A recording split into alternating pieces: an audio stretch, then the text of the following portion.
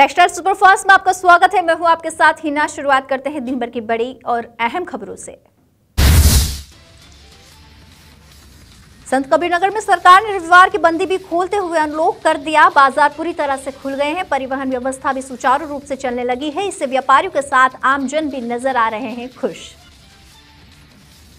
सुपौल में राघोपुर प्रखंड अंतर्गत परमानंदपुर पंचायत के अडराह वार्ड नंबर 13 में रविवार की देर रात लगी आग में एक परिवार का घर सहित हज़ारों का सामान और कपड़ा जलकर राख हो गया।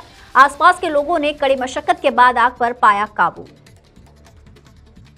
राखी का त्योहार के कारण इतवारी बाज़ार कोरबा में स्थित पंजाबी गुरुद्वारा के सामने कपड़ा गोदाम बंद था। मोहम्मद अमीन मेमन ने अपना कपड़ा गोदाम खोला तो देखा कि रात में अज्ञात चोरों ने गोदाम से लगभग पचास हज़ार रुपए कीमती कपड़े किए चोरी। गोरखपुर में दर्जनों छोटे कारोबारी थोक दुकानों से करोड़ों रुपए का कपड़ा लेकर गायब हैं। ऐसे में थोक वस्त्र व्यवसायी वेलफेयर सोसाइटी ने तीन करोड़ पचास लाख का बकाया वसूली के लिए डिफॉल्टरों की सूची दुकानों और चौराहों पर सार्वजनिक करने का लिया निर्णय। बिहार के उद्योग मंत्री शाहनवाज हुसैन ने सिल्क सिटी भागलपुर के बुनकरों को 25 लाख रुपए की कार्यशील पूंजी सौंपी। रविवार को रेशम भवन में आयोजित कार्यक्रम के 250 बुनकरों को कार्यशील पूंजी के रूप में कुल दस हज़ार रुपए का सौंपा चेक। अफ़गानिस्तान पर तालिबान के कब्जे से राज्य के वस्त्र नगरी भिलवाड़ा और सैंड व कोटा स्टोन के सबसे बड़े बाज़ार हाड़ोती के व्यापारियों को बड़ा झटका लगा है। जो माल भेजा जा चुका, उसका भुगतान अटका हुआ।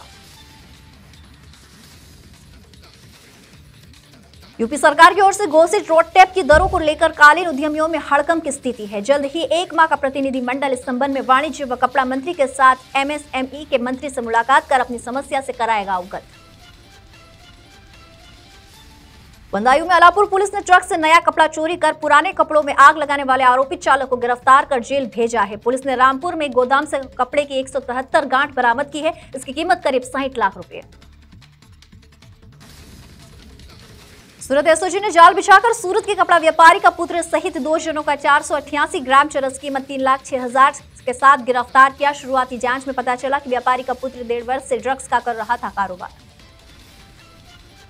भागलपुर में महिला बुनकर अब हुनरमंद होगी। उद्योग मंत्री के पहल पर अब उन्हें विशेष तौर पर प्रशिक्षण दिया जाएगा। बिहार राज्य खादी ग्राम उद्योग बोर्ड द्वारा प्रायोजित रेशम सूत कटाई का एक सेंटर, नाथनगर में दो, दरियापुर में दो सेंटर का उद्घाटन उद्योग मंत्री शाहनवाज हुसैन।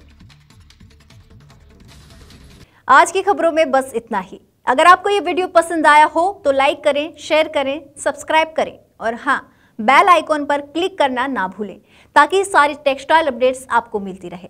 तो देखते रहिए टेक्सटाइल टाइम्स नमस्कार।